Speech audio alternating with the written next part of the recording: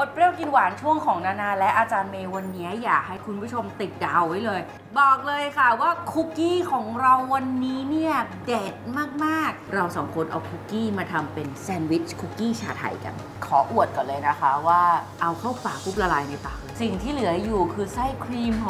อมๆอร่อยอร่อยๆตัวช่วยแรกของเราสองคนคือผงทำสังขยาชาไทยตราโลโบ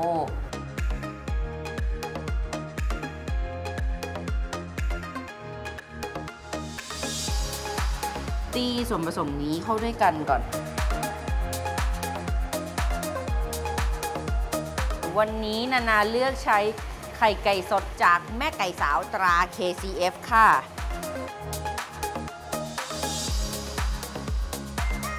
ส่วนผสมฟูได้ที่แล้ว ใช้เวลาประมาณ 5 นาทีใส่ไข่ไก่ 1 ฟองค่ะ โอเค พอใส่ไข่เข้าไปเสร็จแล้วลดสปีดให้ต่ำนะ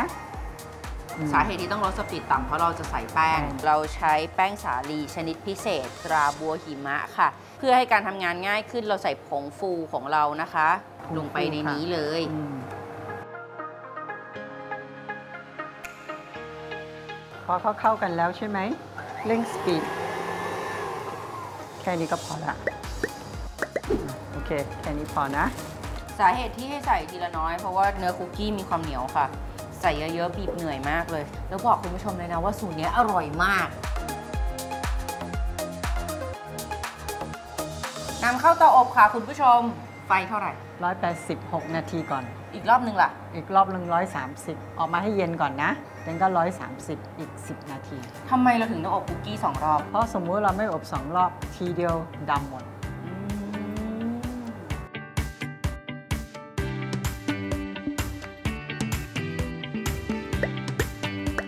อบสุกแล้วทิ้งไว้จนเย็นค่ะ คุณผู้ชมอาจจะสังเกตว่ามันหายไปบ้างบางชิ้นนานาเองค่ะ เราจะมาทำไส้กันคุกกี้ของเราวันนี้เป็นแซนด์วิชคุกกี้ ใช่ แน่นอนค่ะ ผงสังขยาชาไทยโลโบ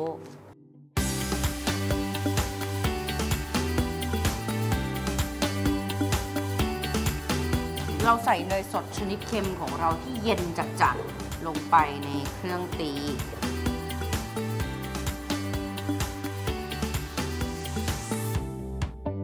10 นาที แรกๆสปีดต่ำก่อนนะ พอเข้ากัน โอเค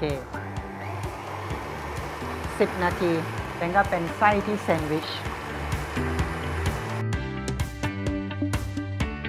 10 นาทีผ่านไปนะคะ บัตเตอร์ครีมเราได้แล้ว ปิดเครื่องแล้วก็ยกลงปาดใส่อ่างผสมค่ะ เดี๋ยวขอเอาเครื่องลงแป๊บหนึ่ง เราจะเอาบัตเตอร์ครีมของเราเนี่ยนะคะ บีบ อ๋อ เข้าใจแล้วทำไมอาจารย์เมย์ให้บีบน้อย บีบยากมาก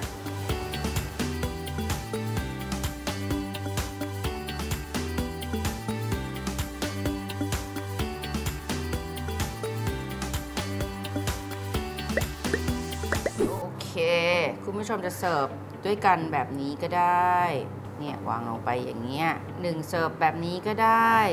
ความจริงคุกกี้เขาอะ ออกแบบมาให้ใช้มือกินนะ แต่ว่าไม่เป็นไร เราเอาส้อมจิ้มลงไปตรงกลาง ขออนุญาตนะจ๊ะหืมรสชาติเป็นแบบที่คิดอะเข้มข้น ตัวคุกกี้เนี่ยมีความร่วน แล้วก็มีความเบา แต่เวลาเจอ buttercream ที่หอมชาไทยแล้วก็มีรสขมปลายๆเนี่ยโอ้โห ทานเข้าไปเสร็จแล้วมันพอดีเหลือเกิน มันเข้ากันเหลือเกิน มันอร่อยเหลือเกิน รับรองความอร่อยจริง ๆ ค่ะ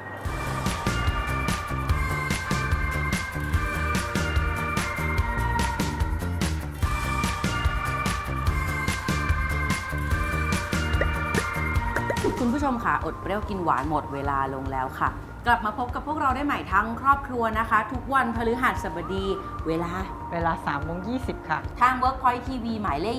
23 วันนี้นานาและอาจารย์เมย์ขอตัวลาไปก่อนนะ สวัสดีค่ะ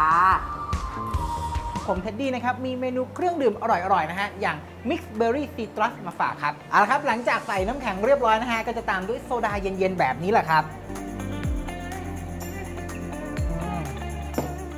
บอกว่าสดชื่นจริง ๆ นะฮะ กลิ่นของ Mix Berry นี่คือมันกลมกล่อมมากแปะเอียงๆนะคุณผู้ชมนะ เดี๋ยวจะบอกว่าทำไมถึงต้องแปะเอียงๆเพราะฉะนั้นเวลาเราจะเสิร์ฟคนดู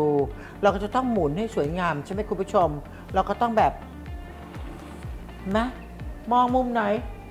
ก็เห็นดาวทุเรียนนะคุณผู้ชมๆอืมมันมีความสุขเหลือเกิน ดูสิหนึ่งชิ้นของคุณผู้ชมหนึ่งชิ้นของนานา